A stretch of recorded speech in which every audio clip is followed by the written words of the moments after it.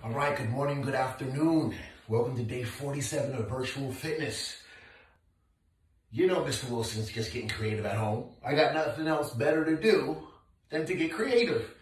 All right, so we're gonna try to get a little domino effect thing going here. And actually, I'm gonna make this an extra credit assignment, okay? Uh, so anyone that can line up nine or more books, okay?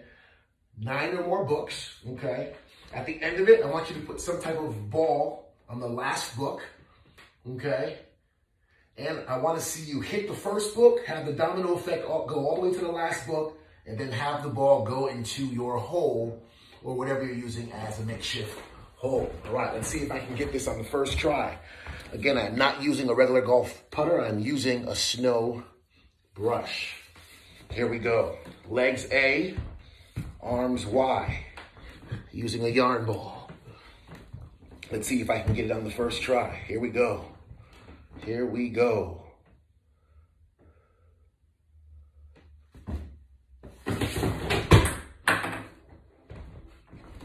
I don't make this stuff up.